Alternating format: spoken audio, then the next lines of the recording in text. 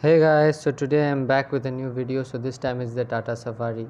So tata safari is a seven seater crossover suv that is launched in 2021 just a few months ago. It's based upon the tata harrier compact suv the same platform which is co-developed with land rover. So the tata safari was actually launched back in 1998 when it was a ladder frame chassis used 4x4 luxury SUV. The first generation was continued up to 2014 when and then in 20, 2014 the second generation came along and the second generation was discontinued in 2019 due to poor sales of the car but the design was pretty iconic and Tata Safari nameplate was very famous in India but then after this discontinuation Tata realized that the Safari nameplate was a pretty iconic nameplate and in 2021 they revamped the new nameplate as the Tata Safari a completely new vehicle. So under the bonnet is a 2 liter inline 4 cylinder Kryotec diesel turbocharged engine producing 170 PS power and 350 Nm of torque. Power is channeled to the front wheels via a 6 speed manual or a 6 speed automatic. The dimensions of this car will be put on the screen as you can see the feature list is pretty long. It has tilt and telescopic steering wheel, power steering, power windows, second and third row charging ports, BOSS mode, third row AC vent with controls, central locking, multiple drive modes that is Eco City and Sport, steering mounted controls, Xenon HID projector headlamps with follow me home function, fog lamps with cornering function, rear parking sensors with camera, rear wiper wa and washer, electric ORVMs, fully automatic temperature control with HVAC, LED DRLs with turn indicators, rain sensing wipers, auto headlamps, front and rear armrest with cup holders, push button start, mood lighting, tire pressure monitoring system, IRA connected car technology which provides your daily service or you can say uh, timely service as well as other vehicle informations you have cruise control, Android Auto, Apple CarPlay, air purifier, panoramic sunroof on the top two models, as well as you have premium white leather upholstery inside with leather wrapped steering wheel and gear knob.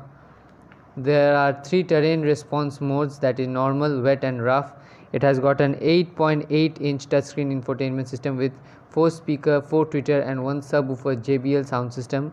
It has got shark fin antenna, 7 color 7 inch instrument cluster for the driver a 6 way power driver seat auto IRVM wireless charger second row bench or captain's chair option as well as you have ventilated front and second row seats and diamond quilted leather seats in the gold special edition model. There are total 5 color options and there are two special edition models that is the adventure persona and the gold edition those two are newly launched versions. Those are special edition models whereas the standard car comes in total 5 colors. You can see the color list very soon. On the safety front you have ESP hill hold control traction control rollover mitigation cornering stability control brake disc wiping ABS EBD perimetric alarm central locking as I said 6 airbags hill descent control isofix mounts, electric parking brake with auto hold.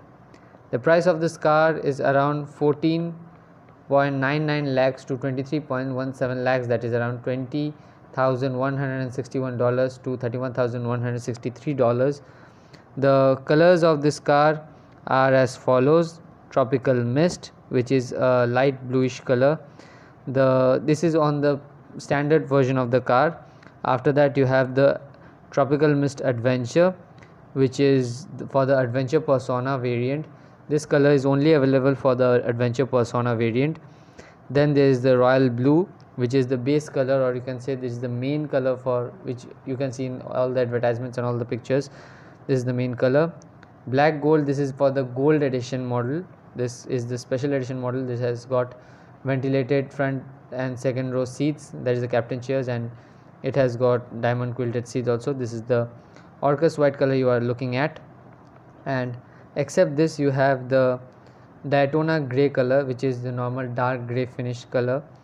And the wheels of this car are only available in white and chrome colors. The and this is the white gold model color that is for the gold edition model. The gold edition has two colors black and white whereas the other colors are for the standard version so this car has only two wheel color options that is one for that is the chrome and the adventure persona has the black wheel color. So what do you think of this car please note it down in the comments. And if you like this video then like it share this video post your comments and subscribe to my channel by clicking the bell icon and turning the notifications on. Thank you. Jai hind